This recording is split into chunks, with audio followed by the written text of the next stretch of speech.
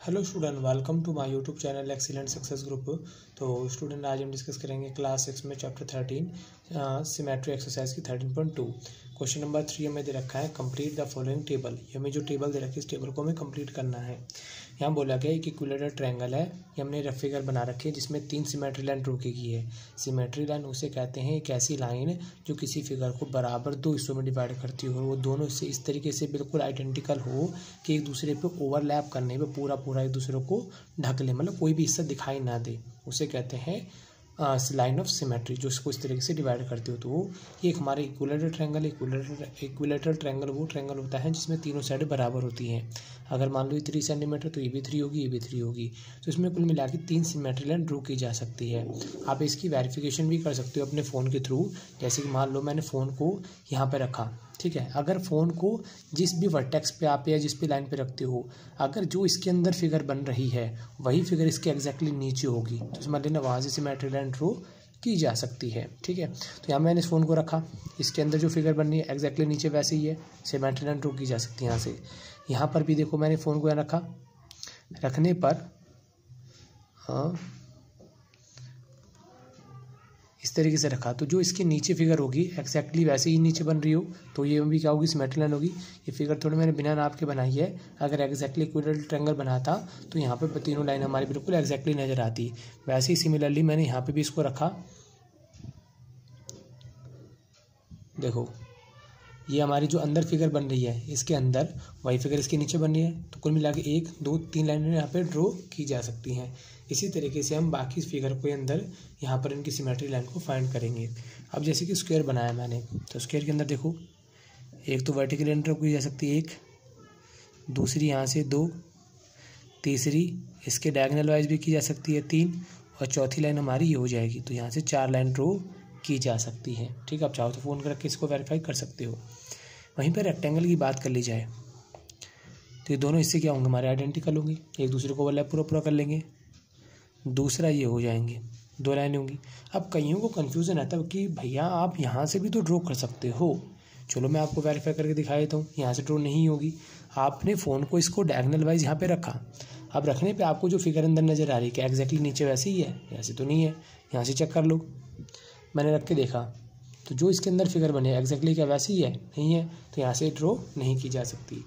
वहीं पर बात कर ली जाए आइसोसेलस ट्रैंगल की। वो ट्रैंगल जिसकी दो साइडें बराबर हो दोनों बराबर हैं। उसमें से सिर्फ़ एक ही लाइन सिमेट्री ड्रॉ की जा सकती है। आप पहले अपने हाँ नाप कर एक ऐसा ट्रायंगल बना लेना जिसकी दो सेम हो, तीसरे अलग हो। उसमें फिर लाइन सिमेट्री ड्रॉ करना। एक तो ड्रॉ कर दोगे, बाकी की अगर दूसरी आप ड्रॉ करते हो तो दोनों इससे बराबर बराबर नहीं होंगे। चाहे आप यहाँ से ड्रॉ करके देख लो, चाहे यहाँ से यहाँ से भी ड्रॉ नहीं की जा सकती। तो इसमें एक लाइन ही होगी। वहीं पर बात कर लीजिए रोम्बस की। रोम्बस वो होता है जिसकी चारों साइडें क्या होती हैं? बराबर होती हैं। ठीक है? तो इसमें से देखो, एक लाइन तो ये ड्रॉ की जा सकती है, दूसरी ये। कितनी होगी? दो। अब कईयों के दिमाग में डाउट होता है, आप ऐसे भी तो ड्रॉ कर सकते हो। चलो वेरीफाई कर लेते हैं इसको भी। डायगनल वाइज मैंने ड्रॉ की। देखो, अंदर जो रोम्बस बन रहा है, नीचे भी एग्जैक्टली वैसे बन रहा है। यहाँ से देखो। जो इसके यहाँ बन रहा है वही एग्जैक्टली इसके अंदर है और नीचे भी एग्जैक्टली वैसे ही है। अगर मैं इसको यहाँ से ड्रॉ करता हूँ इस तरीके से तो इसकी जो अंदर फिगर बननी है, नीचे तो बिल्कुल डिफरेंट फिगर है, देखो ज़रा। यहाँ पर कॉर्नर उस तरफ़ जा रहा है, जबकि इसके अंदर तो कॉर्नर इस तरफ़ आ रहा है। इस पर रख के देख लिया इस तरीके से। अब यहाँ देखो, इसके अंदर की जो फिगर है, ऐसा लग रहा है बुक हो। रॉम्बस थोड़ी ना नज़र आ रहा है, क्योंकि इसके अंदर की जो फिगर है और इसके नीचे की फिगर दोनों डिफरेंट है। तो हॉरिजॉन्टल और वर्टिकली दोनों लाइन इसमें ड्रो नहीं की जा सकती है, ठीक? अब बात कर लीजिए सर्कल की। सर्कल में तो इनफाइनाइट जितनी मर्ज़ी नंबर लाइन ड्रो कर लो। जैसे कि यहाँ से ड्रो कर दी एक, यहाँ से ड्रो कर दी दो, दोनों इससे बराबर रहेंगे।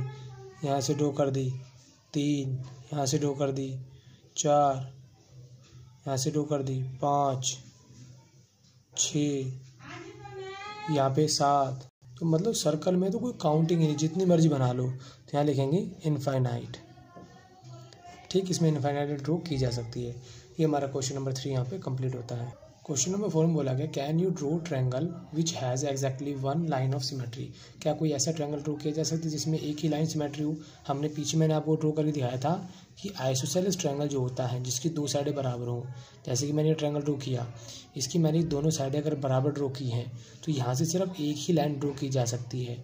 ठीक है? तो यानी कि ऐसा एक लाइन सिमेट्री किसमें ड्रो की जा सकती है? सिर्फ़ और सिर्फ़ आइसोसेलेस ट्रैंगल में।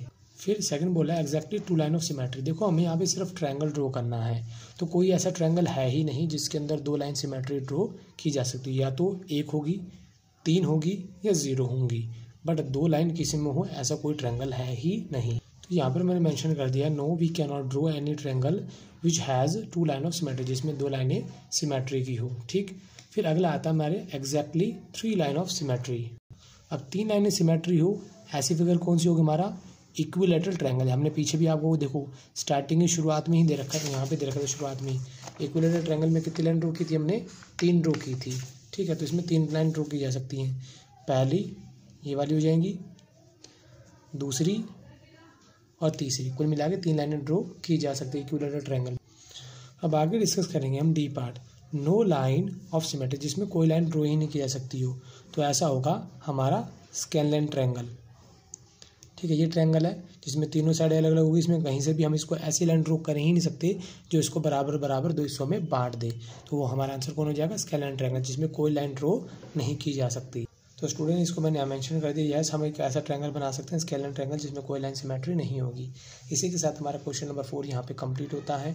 उम्मीद करता हूँ स्टूडेंट आपको क्वेश्चन समझ में आ गया होगा। अगर आपको वीडियो पसंद आया तो वीडियो को लाइक करें शेयर करें कमेंट करें और इस चैनल को ज़रूर सब्सक्राइब कर लें।